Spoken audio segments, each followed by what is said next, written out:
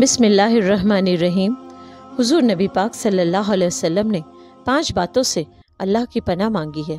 फरमाने नबी सल्लल्लाहु अलैहि वसल्लम ए ग्रोह, महाजरीन, पाँच बलाएँ ऐसी हैं जिनके मुतालिक मैं अल्लाह ताला से तुम्हारे लिए पनाह माँगता हूँ।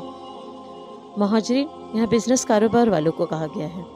जब किसी कौम में खुल्लम खुल्ला बदकारियाँ होती हैं तो अल्लाह ताला इन पर ऐसे मकरूहात नाजिल करता है जो पहले ना, किसी पर नाजिल नहीं होते।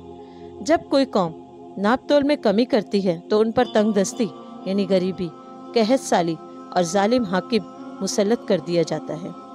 जब कोई कौम अपने मालों को जक़ात नहीं देती है, अपने मालों का जक़ात नहीं देती तो उन्हें खुश्क साली घेर लेती है।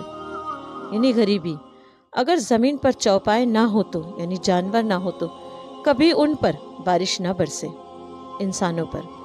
जब कोई कौम अल्लाह और उसके रसूल के अहद को तोड़ देती है तो उस पर उसके दुश्मन मुसलत हो जाते हैं। जो उनसे उनका माल व दौलत छीन लेते हैं और जिस कौम के फरमानवा किताबुल्लाह से फैसला नहीं करते, उनके दिलों में एक दूसरे से खौफ पैदा हो जाता है।